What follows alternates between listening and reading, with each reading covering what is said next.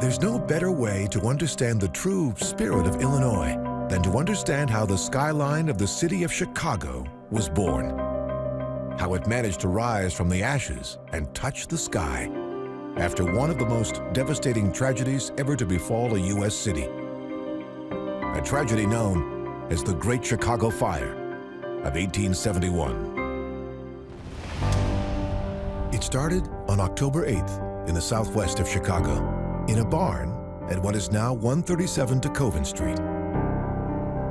High winds from the southwest fanned the flames and pushed the fire through the city towards Lake Michigan.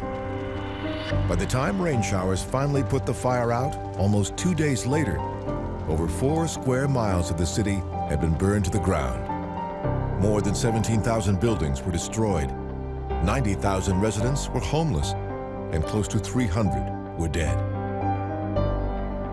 The Great Chicago Fire had started at 9 p.m., which is one reason the tragedy has been called the night America burned.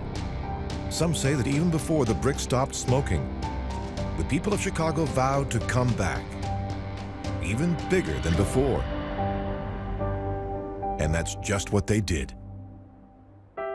Chicago's Great Fire was the spark that led to brilliant innovations in the skyscraper and the creation of one of the most dazzling skylines in the world.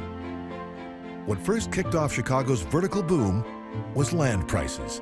Almost immediately after the Great Chicago Fire, the cost of land in the city skyrocketed as builders vied for space. Those who did have land wanted to build the tallest structures they could.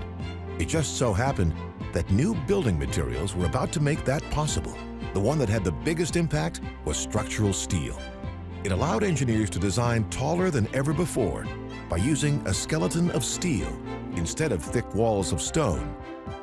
It also enabled architects to revolutionize the way buildings looked.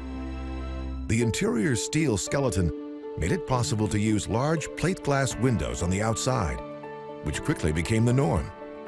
When German architect Ludwig Mies van der Rohe arrived in Chicago just before World War II to teach here at the Illinois Institute of Technology, he pushed the use of glass and steel in skyscrapers even further.